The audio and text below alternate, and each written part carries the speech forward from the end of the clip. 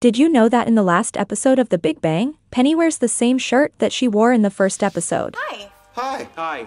Hi. Hi.